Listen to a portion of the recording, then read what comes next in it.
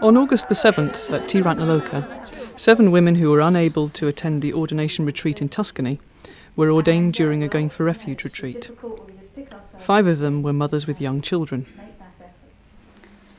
Marilyn becomes Sudurjaya, good and hard. Dur is difficult, Jaya to be conquered.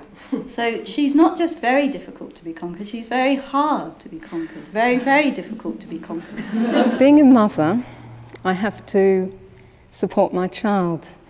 So I've had to work with giving myself enough time for my practice.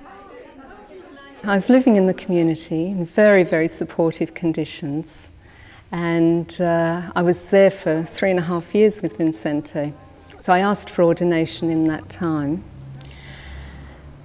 I think having him, it was what spurred me on to ask, actually. And it was the realization that here was this child who I was trying to do everything for, who still suffered. And I couldn't stop the suffering. I couldn't stop the hunger. I couldn't stop the pain that he was going through all I could do was hold it with him. And I think it just, it really taught me something about suffering and that uh, there is suffering in human existence. It wasn't somebody's fault, it really was there. I think to practice as a mother, you really need to make an effort with deepening friendships. It's quite difficult to see people a lot because you're so busy.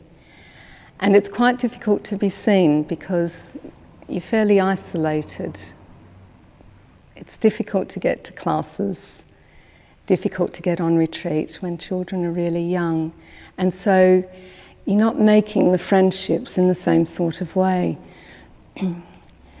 so I found that I had to really make quite an effort to keep myself in view, if you like.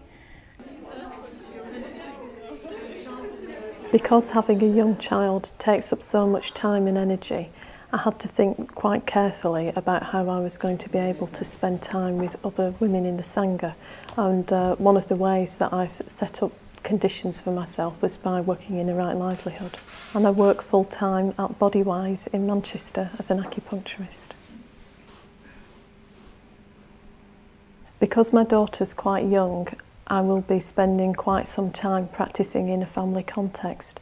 So I think I'm in a very good position to be able to encourage other women with children to feel confident that they too can go for refuge within a family context. In harmony with friends and brethren, I accept this ordination. I accept this ordination. My approach to ordination has had to be one of patience, and I've had to just be confident that it would happen.